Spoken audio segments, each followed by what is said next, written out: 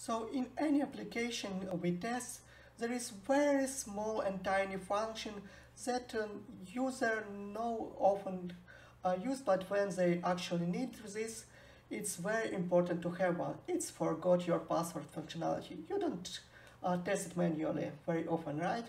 That's why it should be tested automatically and we will write a test for it. I will create a new test for this inside login. So uh, let me just copy this uh, scenario and rename it.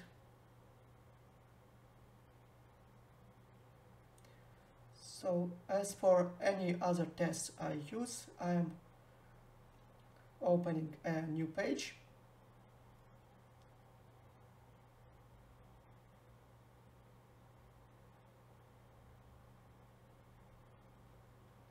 I will need to create a user before and uh, I will use Rails API to do this. So I create a user, then I confirm it. So uh, I created a test and uh, executing them it to check that I actually could create and validate uh, a user and confirm it uh, using Rails commands. Uh, that's the initial setup uh, I require to forget password functionality. Then I do what I always do, uh, do in such situation, opening a website and uh, using post command. Unfortunately, I didn't specify the correct URL here. Empty string, it's not correct URL, so I'm rerunning a test and uh, checking that uh, website is opened. uh, I click uh, forgot your password link. Now I need to type in my email that was uh, used uh, by a user I just created. I, I type my email, unfortunately I don't know it uh, at this moment, so I will use uh, some dummy variable which I'll replace inside the test with the variable I created for email. I click restore and then uh, I expect actually that email was uh, sent. So inside the email I see change my password link and uh, somehow I will need to access to it.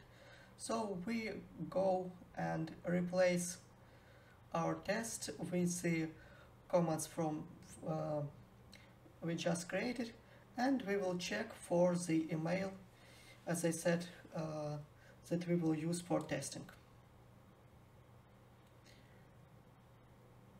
Uh, then uh, I will check this command from register test to test the confirmation email was received uh, for reset password instructions was received in this time. Uh, during the execution uh, of this test, I found out a very interesting thing that I will try to show you right now.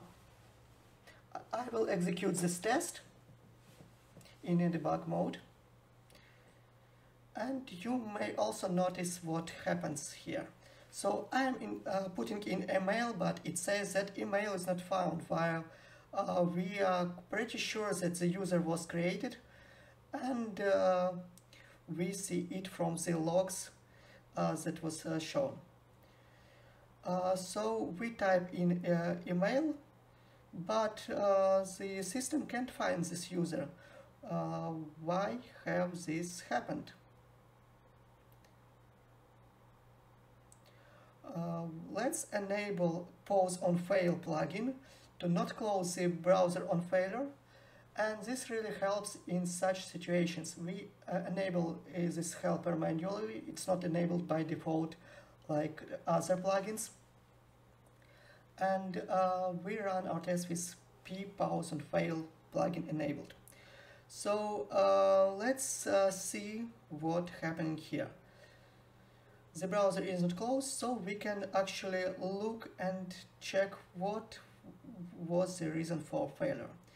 We see that the command was s text uh, and typing email and s mm, char was missed when we filled in this field. That uh, was the problem. So we typed in so fast that the system didn't recognize it, so we lost the first char. We'll use fill field instead and uh, uh, use the same email. Uh, currently we will just copy paste it and then we click the restore button. Okay, so now I see the message uh, that I expect.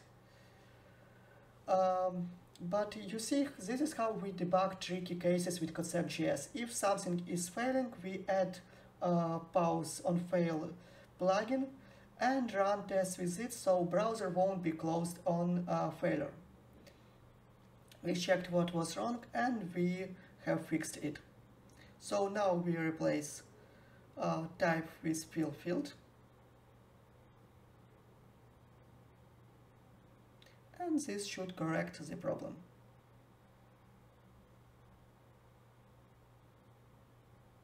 Let's try to execute it in headless mode.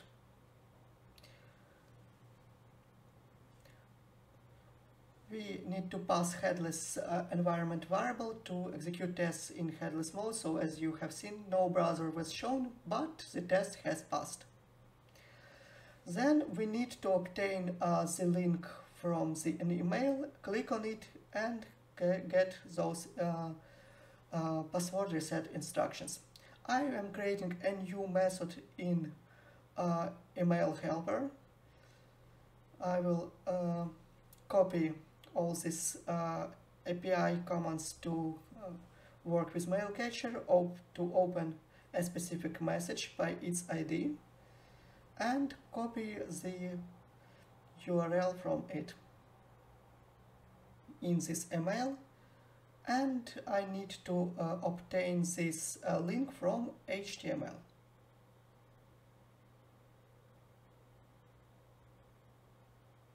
I will use uh, regular expressions to find URL in message body.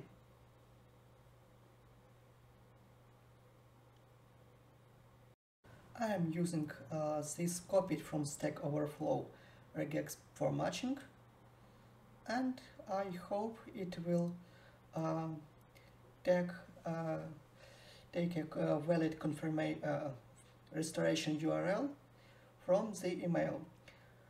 Uh, you see it printed as a URL from the message and uh, I can actually uh, print it to the console in debug mode. Instead of using console log to not pollute it for, uh, for all other tests uh, the output. And I am returning uh, this rs0 with a valid link to the test. I think the name of this test is not correct here because we are not clicking links, the click must go to playwright, but we can obtain a link from this method. And all methods that uh, start with grab prefix uh, should return value. This is uh, the rule in CodeceptJS that all the methods that return something to a test must uh, be named with grab prefix. Let's go to a test. So instead of checking like it, it should be grab email link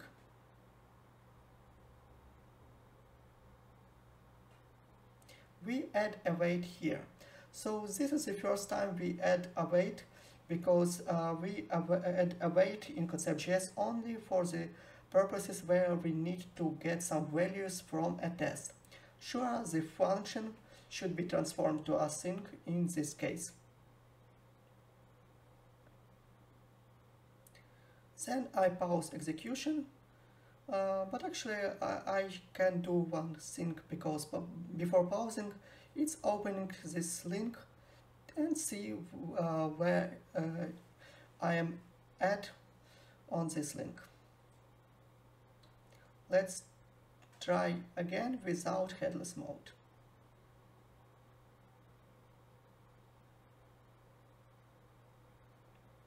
So you see reset password uh, page. Uh, we didn't see this page before. That means that we correctly clicked on that link. So now from the terminal I can enter new password. It's admins1, very secure one. Um, you see I didn't guess by the uh, label name, there is lowercase p. There is confirm new password text. So uh, then I click the change my password button and I see the message that password has been changed successfully.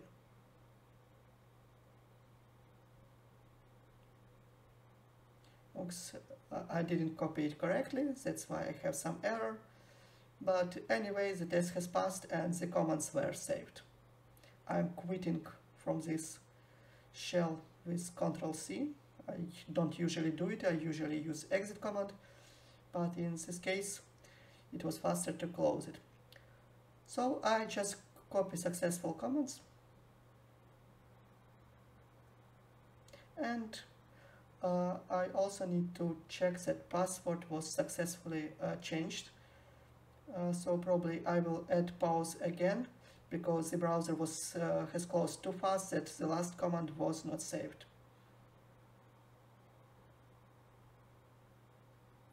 Let's enjoy again how the uh, restoration of password happens and we check that uh, password has changed message appeared. I will put it directly to a test and copy the locator from the previous test because we use the same locator for all messages and probably we should move this uh, locator to a page object in next videos. I also check that project's visible to user, so he's on the main page. And yeah, it worked. Let's copy it as well. And that's, that's it. We are closing tests, saving it. And we, now we can rerun uh, it in headless mode because, uh, well, if it works, it should be passing in, in headless mode. I don't want to see and uh, we can run all of our tests in headless mode just looking in the console where they at and what is happening right now. You see the login uh, passed, now we are checking the restoration, it also passed, and what about registration? It also passed. 18 seconds, pretty, pretty good, you will spend more time testing this manually and I'm very happy with this uh, test because uh, right now I won't need to ask my uh, QAs to uh, check this functionality on every release. By the way, we were testing Testomatio application, a test management system for automated tests, which works great with CodeceptJS, Jest, uh, Mocha, and other testing frameworks of your choice. So uh, Testomatio helps you to make your tests visible and bring better reports to your tests. Thanks for watching and see you soon.